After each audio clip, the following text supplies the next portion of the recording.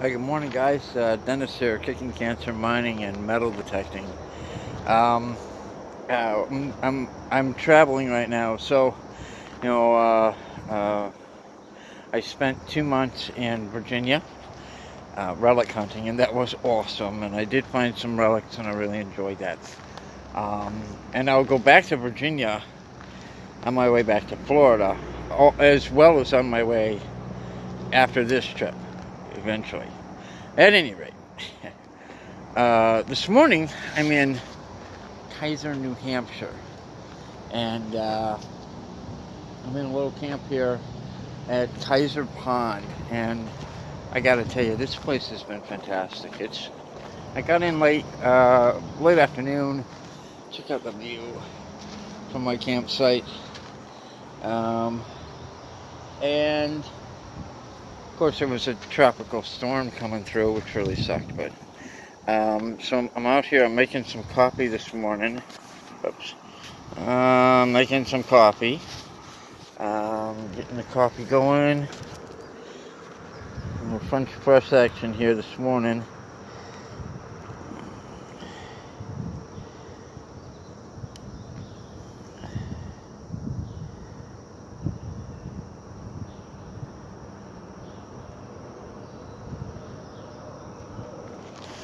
Alright, so look here. If y'all are traveling and you're going through New Hampshire and you need a place to stop before Concord, um, there's Keyser Pond.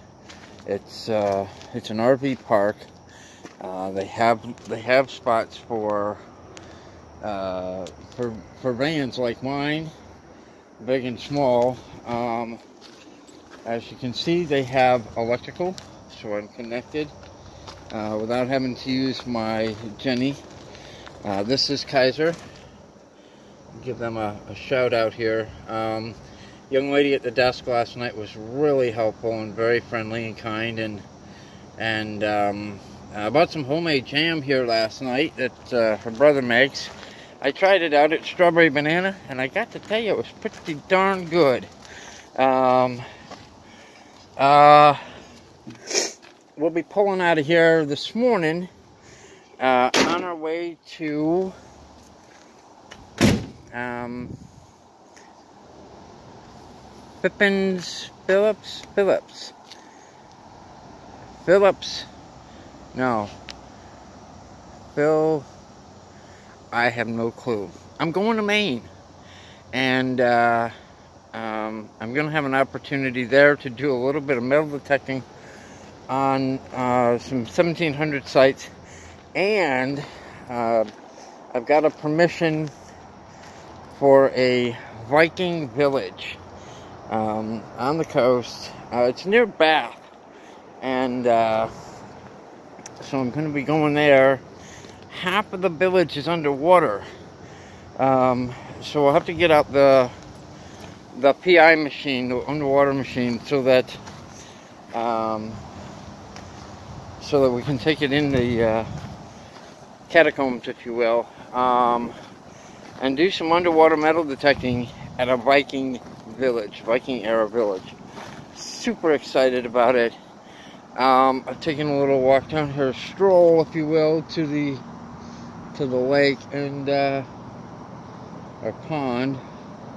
I don't know. I don't know what makes a pond a pond and a lake a lake because they both have water in them, right? Um, so, so uh, uh, nice dock. They said there is some bass in here, but due to the storms last night, um, might be more difficult to catch anything today. Uh, you know, there was a tropical storm that came through here last night. If you have children, there's a playground, there's badminton. Um, the the the, uh, the campsites they all have electric and water. Damn Corona. Okay. Um, so, uh, they've got boat rentals. If you want to take out a boat, rent a boat, go out on the pond, do a little fishing, or just catch a little exercise. Uh, temperature this morning was 70 degrees, I think. Not bad. Um, so we're only here for a few more minutes, and we're going to get on the road and head for this uh, Pippins Phippins, Phippinsburg, um, Maine. We'll be there for eight days, and then we're going up by um, New Brunswick and uh, the Bay of Fundy. I'm really excited about taking my handheld detector down there at the Bay of Fundy down into the crevices during the low tide. But again, your tides there, as I understand, are 15 to 20 feet, which is not like Florida, we get two or three feet. Huge tides.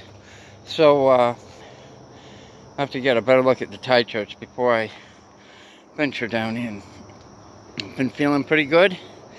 Excited about the trip and uh, excited for some coffee this morning. Um, many thanks to my friend, my new friend uh, in New York that gave me this uh, this little water heater thing from a coffee. Um, it is awesome. Um, it allowed me to brew up a pot of water in about 90 seconds um, so I can make my coffee this morning really quick without having to use any propane.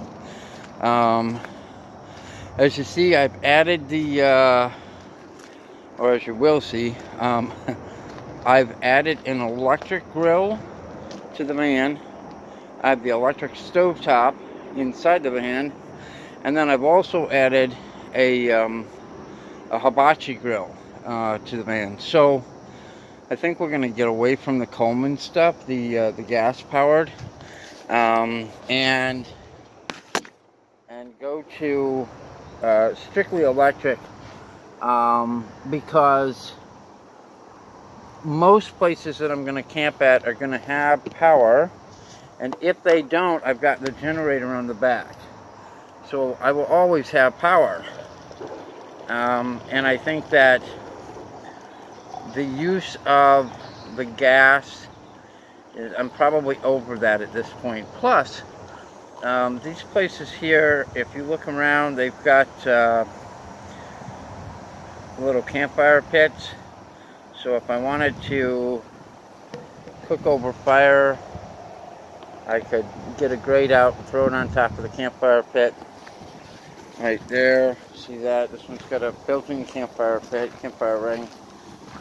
Put my put my grill across the top, and uh, and grill over an open fire if I if I felt like I wanted to be um, there's just so many better options. That's the point of this. And so, um, at any rate, we're to do a little cleanup here this morning and then uh, um, get on the road and head for for Maine. Um, I might try to get the GoPro up on the dashboard this morning and do a little GoPro video as I'm going and do an upload of that when I get up into Maine.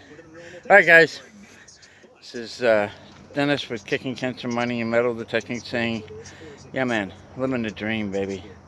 Thanks for checking in and uh, uh, please uh, share this video and like it and subscribe and tell all your friends and, and tell all your enemies and tell your grandma, tell your, tell your grandpa, tell your baby sister and your big sister and your mom. Tell everybody you know to follow me. wow. Okay, this is what happens when you listen to me before coffee. Thanks, guys. I'll see you. Uh, I'll see you on the next hole. All right.